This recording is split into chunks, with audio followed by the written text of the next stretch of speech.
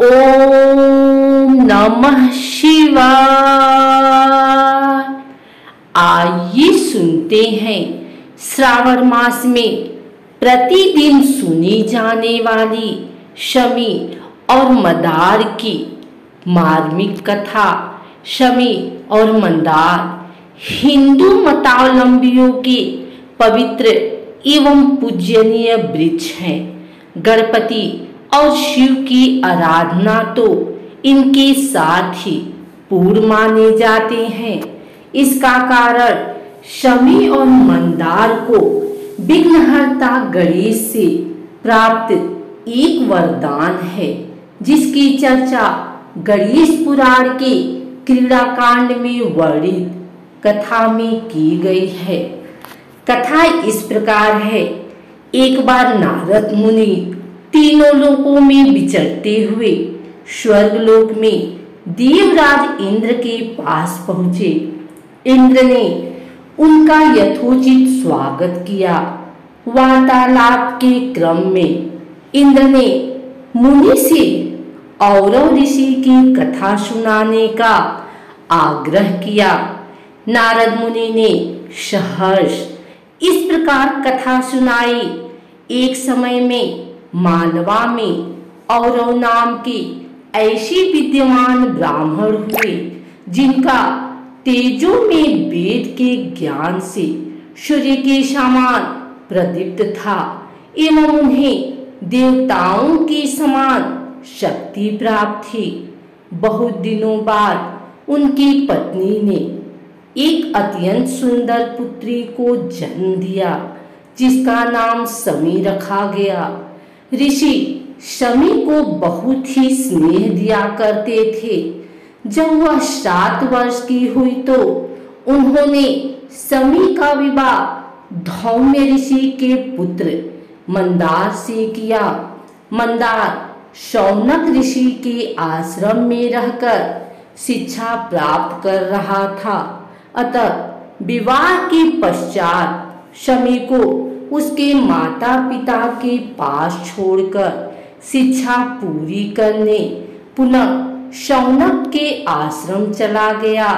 जब मंदार और शमी पूर्व यौवन को प्राप्त हुए, तब मंदार अपने ससुराल गया और शमी को विदा कराकर पुनः शौनक के आश्रम की ओर वापस चला। रास्ते में एक महान तपस्वी ऋषि भ्रीशुंडी का आश्रम पड़ता था, जो गणपति के अनन्य भक्त थे। अपनी तपस्या से उन्होंने भगवान गणेश को प्रसन्न किया था, जिन्होंने ऋषि को यह वरदान दिया था कि गणेश की तरह ऋषि भ्रीशुंडी भी अपने कपाल से सुर निकाल सकते हैं। जब समी और मंदार भ्रिशुंडी के आश्रम के पास पहुँचे तो उन्हें गणेश की तरह सुर निकाले देखकर दोनों को हँसी आ गई। इस पर ऋषि बहुत क्रुद्ध हो गए और कुपित होकर उन्होंने दोनों को श्राप दे दिया कि तुम दोनों वृक्ष बन जाओ। ऐसा ब्रिज की, जिसके पास पशु पक्षी भी ना आए। ऐसा ही हुआ। मंदार, ऐसा वृक्ष बना, जिसकी पत्तियाँ कोई पशु नहीं खाता। और शमी, ऐसा वृक्ष बनी, जिस पर कांटों की अधिकता के कारण कोई पक्षी शरण नहीं लेता। कई दिनों पश्चात भी जब शमी और मदार, ऋषि शौनक के आश्रम नहीं पहुँचे। तब ऋषि उनकी खोज में निकले। पहले वे शमी के पिता औरों के घर गए। वहाँ उन्हें न पाकर ऋषि द्वय खोजते हुए भ्रीशुंडी के आश्रम पर आए, जहाँ उन्हें सारे वृत्तांत को सुनाया। उन्होंने भ्रिशुंडी ऋषि से दोनों को श्राप मुक्त करने का अनुरोध किया। किंतु भ्रिशुंडी ने इसमें अपनी असमर्थता व्यक्त की। तब उन्होंने भगवान गणेश को प्रसन्न करने के लिए कठिन तपस्या प्रारंभ की। उनकी तपस्या से प्रसन्न होकर गणपति दस हाथ ऊँचे सिंह पर आरूढ़ हो प्रकट हुए। गणपति ने उन्हें वरदान मांगने को कहा। उन्होंने शमी और मंदार को शाप मुक्त कर पुनः पूर्वावस्था में लाने का वरदान मांगा। किंतु गणेश अपने प्रिय भक्त भ्रीशुंडी की अवहेलना नहीं करना चाहते थे। अतः यह वरदान देने से मना कर दिए। परंतु बदले में यह वरदान दिया कि एक दोनों वृक्ष तीनों लोकों में पूजनीय होंगे और शिव तथा स्वयं उनकी पूजा बिना इनकी उपस्थिति में पूर्ण नहीं माने जाएँगे। यह कहकर गणपति अंतर ध्यान हो गए। ऋषि शौनक, तू अपने घर लौट गए, परंतु ऋषि औरव ने अपना शरीर वहीं त्याग दिया। उनका तेज अग्नि रूप में, समी पेड़ के तने में स्थिर हुआ। इस प्रकार नारद ऋषि ने इंद्र को औरव की कथा सुनाई।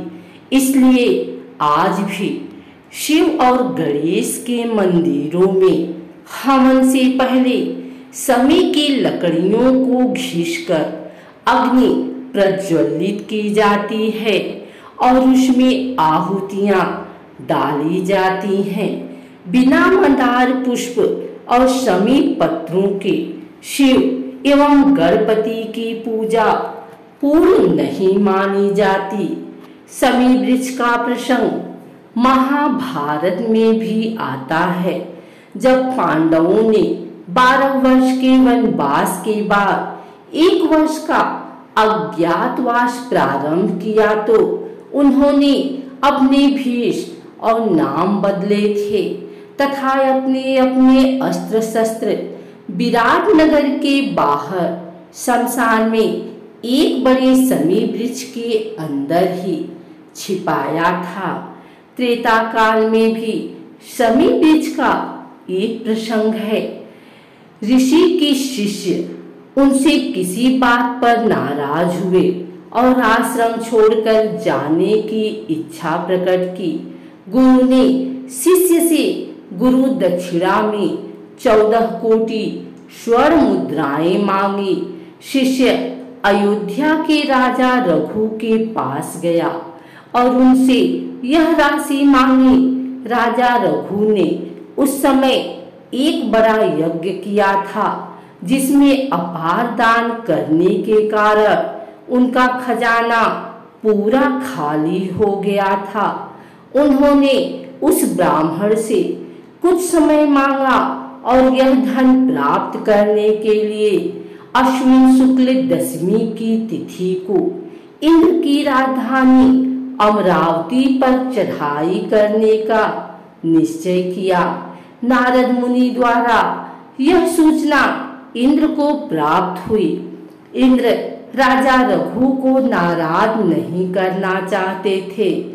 अतः उन्होंने अपने खजांची कुबेर को बुलाकर अयोध्या पर धन वर्षा करने का आदेश दिया।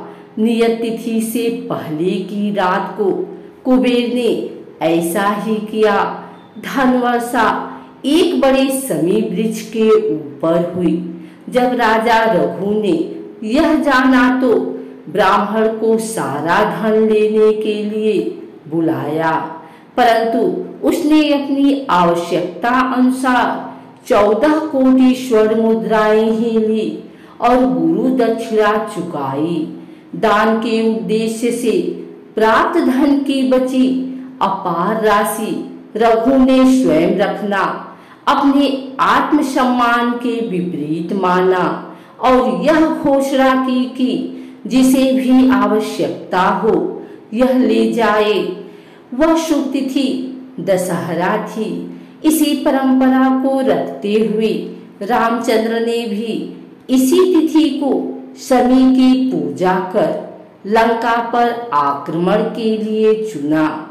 आज भी किसी विशेष कार्य पर निकलने से पहले लोग, विशेषकर राजपूत, शमी की पूजा या शीश नवाते हैं।